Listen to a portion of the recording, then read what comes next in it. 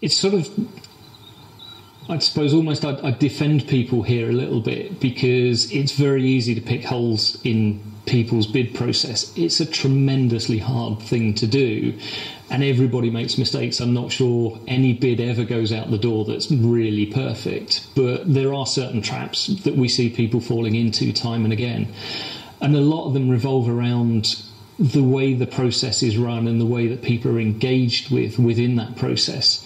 I think, in particular, making sure that the team gets together very early and is very tightly briefed around the nature of the opportunity, the requirement, um, and what they need to do in terms of pulling the response together to get that sort of degree of consistency of approach in the first place makes a massive difference and too often what we see is people very hastily sort of uh, get together very briefly, agree who's going to do what, and they get scattered to the winds. Everybody starts writing and sort of feverishly throwing content together. But of course, without that really tight brief, it's it's inconsistent. And then you're relying on somebody to pull it all together and try and sort of clean it up and make sense of it.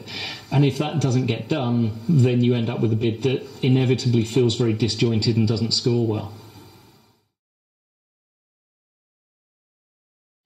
Yeah, every company needs to be very, very uh, tight in their level of qualification. Um, it's the simple rule of bid less and bid better because it's always tempting. You know, if, if your average order value is £500,000, when a £1.5 million bid lands on the table, everybody's going to want to pursue it. But if you don't know the customer, if you haven't got a history, if you haven't got a background with them, if you don't really know what's going to set you apart, all you're actually doing is committing to spend an awful lot of time chasing it, burning a lot of time and a lot of money with very, very little chance of winning it because almost certainly somebody else will have been in there shaping the requirement, shaping even potentially what the, the actual bid should look like. So it's about having right across the company having that strength and commitment to a good qualification process that everybody sticks to even if it's a particularly high value opportunity. You know, if you if you think you can't win it, don't go after it, and that will always drive the conversion rate because it drives the quality of what you do go after. So that when you're engaged, you're engaged fully. Everybody's behind it, and you know how you can win.